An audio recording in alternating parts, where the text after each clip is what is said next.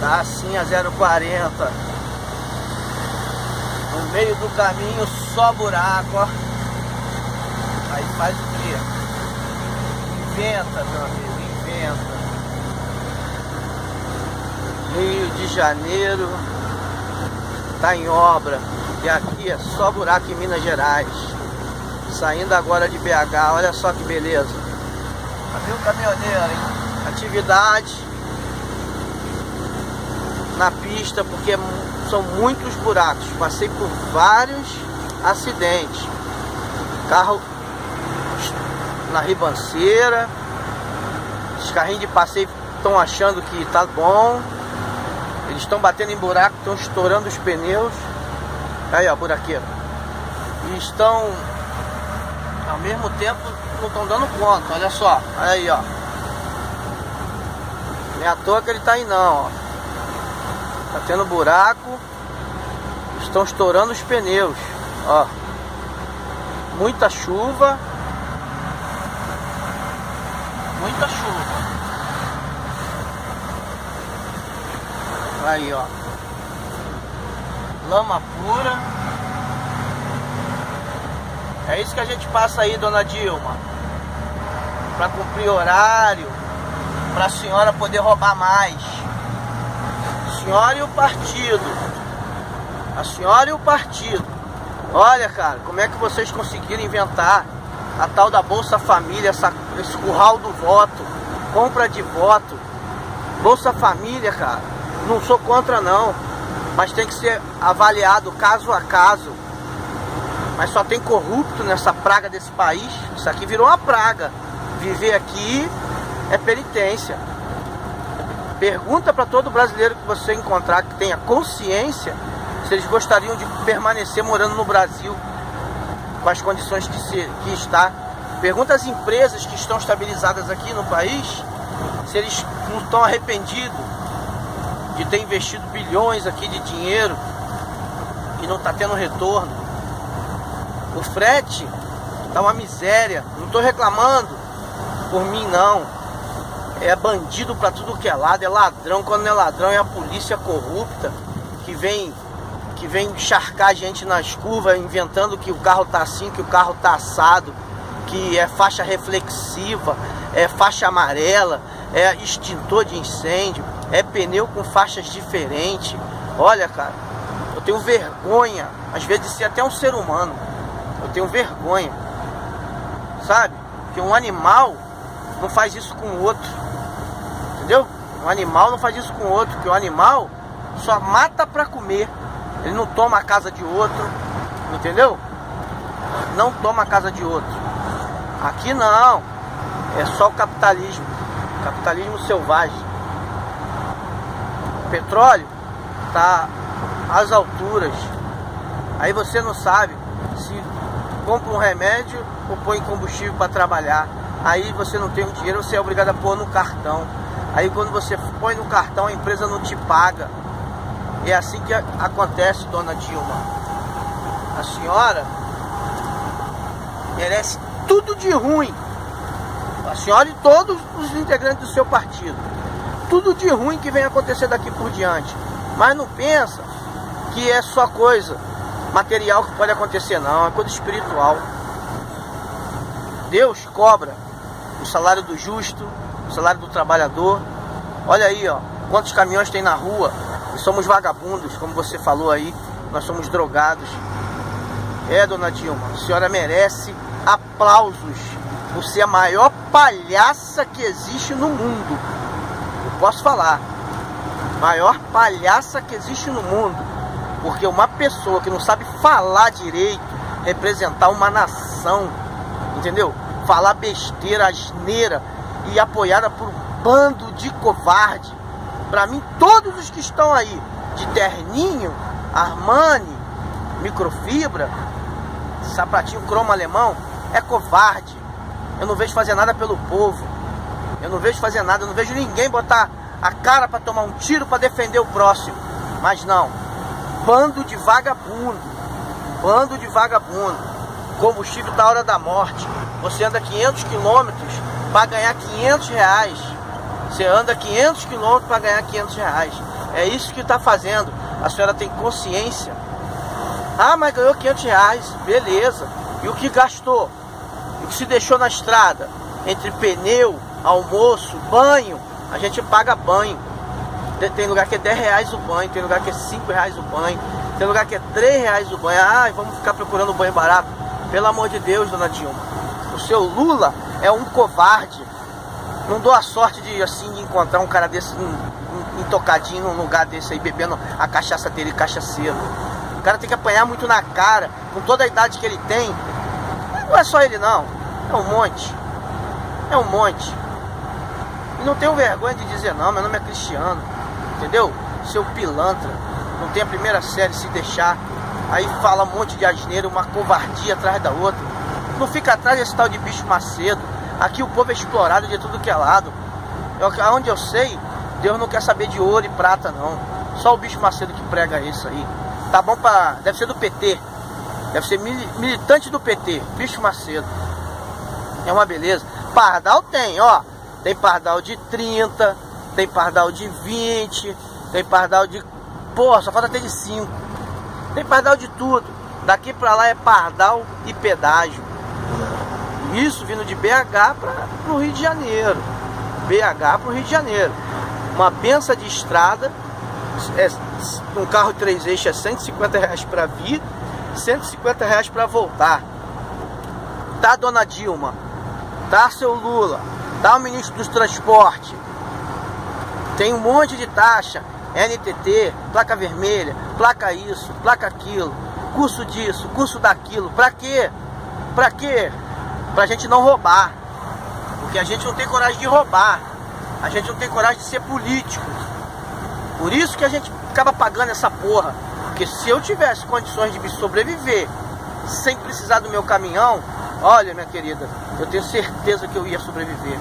Eu ia, sabe, nem celular eu ia ter, mas tu é obrigado a ter, porque a gente foi preso nessa malha, essa malha invisível que te proíbe de respirar.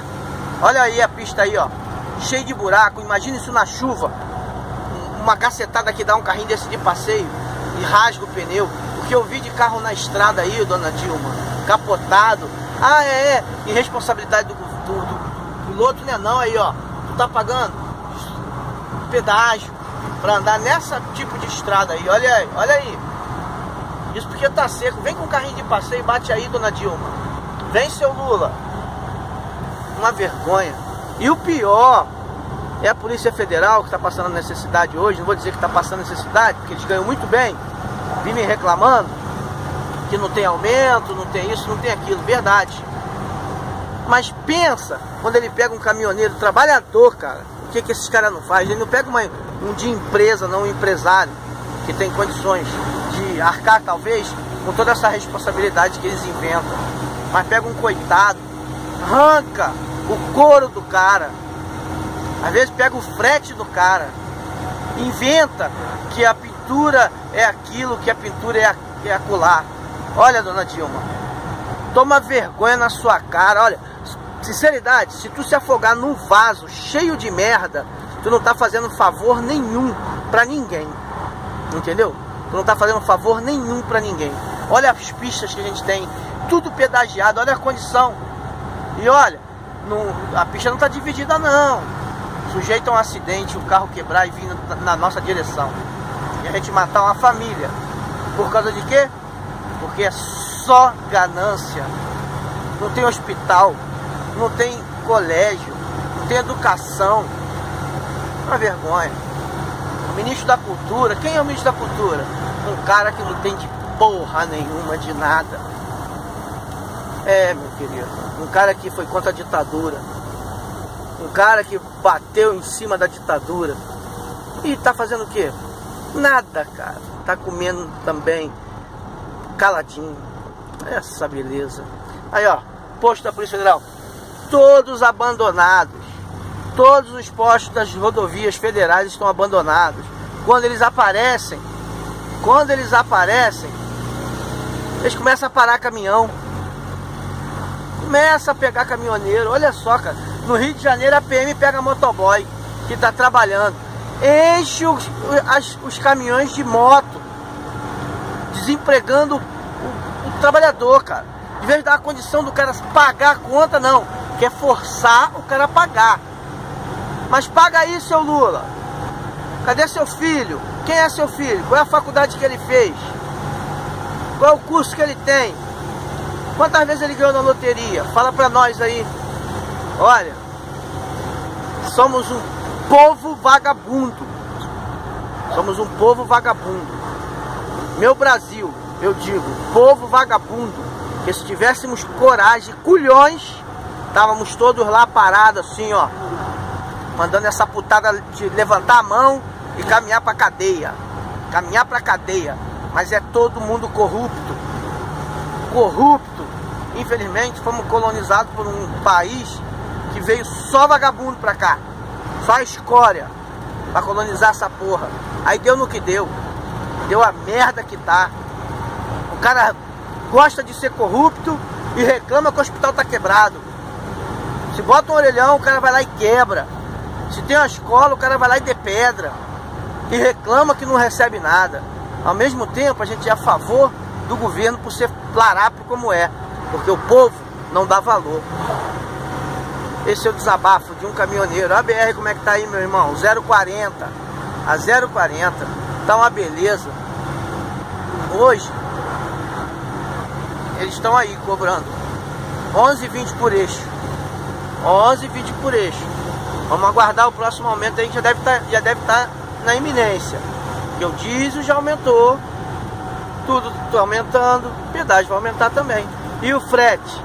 Baixa, cara. Vai entender essa matemática de filha da puta. O frete baixa. A vadia. Ô governo desgraçado, cara. Se eu pudesse.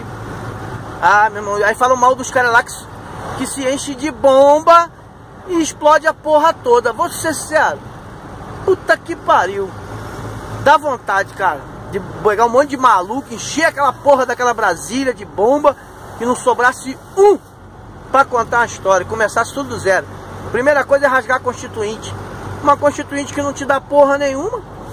Te dá porra nenhuma. Tô metendo a mão em tudo. Tu trabalha 65 anos da sua vida, rapaz.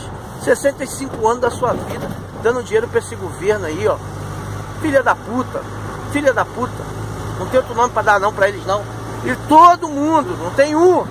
Aquele que tem culhão, faz por onde se, se mostra, bota a cara o Bolsonaro bota a cara. O Romário estava pondo a cara aí, não sei se era problemas particulares, agora apertou a mão do nosso governador e do nosso prefeito. Ia ser, queria vir governador do Rio de Janeiro. Aí tá essa maracutaia aí, ô Romário, acorda Romário. Acorda. Sai dessa. Ah, Romário. Tu é, me... ó, Tiririca pelo menos a gente sabia que não ia fazer porra nenhuma. Ganhou. Ué, Romário, você tem um pouquinho de bagagem, né? Andou lá fora, conhece o, o, a Europa, tem noção de qualidade de vida. Tá aí, ó. Hoje, ocupando um, um lugar e tem que fazer alguma coisa. Mexer com futebol, aquele canalha lá, outro ladrão, velho viado, Vai fazer o que? O povo continua na merda. Na merda. Acabar com a Bolsa Família, irmão. Acabar com essa Bolsa de Família. Não 100%. Mas tem gente aí que tá fazendo de tudo pra ter bolsa, rapaz. Fazendo um filho atrás do outro. Dá controle de natalidade, pelo amor de Deus. Não é ensinar a fuder, não. Como o Bolsonaro tava falando. Não é ensinar nossos filhos a fuder. Menino com menino, menina com menina, não é da educação para que eles não venham contrair uma doença venérea, ter uma, um tino para poder abordar esses assuntos. Tem idade para isso. Doença venérea, AIDS, DST. Temos aí meninas com 13, 14, 12 fazendo vídeo, colocando na internet. Se fosse uma mulher marmanja, vida definida, não, são adolescentes. Canalha, o cara que acha lindinho, gostosinho. Porque não é a filha dele que tá lá, enfiando uma vassoura na bunda. Se fosse a filha dele, ele não tava com aquele vídeo no celular mostrando pros colegas. Igual a gente vê por aí. Irmãos, acordem. Vamos acordar. Caminhoneiro, coitado, está endividado. Não consegue manter uma greve, porque o governo é ladrão. E o sindicato deve ter sido comprado. Porque senão tinha apoiado a última greve, a última movimentação. Tá aí, ó. Só ontem eu vi uns 15 carros capotados, batidos, por causa desses buraquinhos aí na pista, ó. Buraquinho, que rasga um pneu com uma facilidade que você não imagina. Vou ficando por aqui. Já estamos nós na 040, disputando espaço com buraco, pardais, esses motoristas de carrinho de passeio, irresponsáveis, estão dando carteira na mão de qualquer um. O negócio é cobrar, né? Cobrar, caro. Vamos cobrar 5 mil para tirar uma carteira. E o povo paga. Povo babaca. Povo babaca. Tem que pagar porra nenhuma, irmão. Tem que pagar porra nenhuma. Fica sem tirar carteira, ver se não eles vão dar um jeito. Eles, têm que, eles querem roubar. Só sabem aumentar imposto. Salário daqueles filha da puta que não fazem nada. Quem é o Lula? Tira salário da onde? Esse salário que botaram pra Rosiana lá, aposentaram a mulher. Que que ela, quem ela foi? Pô, pelo amor de Deus. Nosso dinheiro tá virando lixo, cara. Quem foi a Rosiana Sarney? Quem é? Ah, vai trabalhar, vagabundo. Vai trabalhar. Porra, e quantos estão aí aposentados? Filho do filho do filho. Comendo nosso dinheiro aí, ó. Pelo amor de Deus. Ó, vou falar um negócio. Encontrei com israelense, para resumir. O israelense falou para mim, lá no nosso país a gente tem lá nossas guerras, mas tem motivo. E aqui? Você sai na rua, vai no cinema, vê um moleque que te mete uma faca nas costas para te roubar uma bicicleta, para te roubar um celular. E o que, que ele ganha? Direitos humanos. Vocês do direitos humanos, mete uma faca no cu e puxa até a nuca. Puxa até a nuca. Quero ver quando um desgraçado desse pegar e estuprar vocês assim, ó, por duas horas seguidas. Porque vagabundo tem tesão, sabia disso? Vagabundo tem tesão. Sabe por que tem tesão? Porque não tem conta pra pagar. Vagabundo tem tesão. Na mulher dos outros é or. Pau duro 24 horas. Pau duro 24 horas. Pra fazer maldade, o pau não, não abrocha. É isso que acontece. Tá entendendo aí, ô, dona dos seus direitos humanos? Eu vi um vídeo que eu fiquei até com vergonha. Do estuprador que matou uma menina de 16 anos. Chamaram direitos humanos para ele. O advogado chamou. Aí, seu advogado, tinha que ser a tua filha, seu filho da puta. Tinha que ser a tua filha ou a tua mulher. Já morre tanta gente, não quero mal de terceiro, não. Morre tanta gente, um a mais, um a menos. Né? Tinha que ser a tua filha, seu advogado. Ia ficar bonito bonito, ela estampada lá, você como advogado, querendo seus direitos. Para tomar no seu cu, seus filha da puta.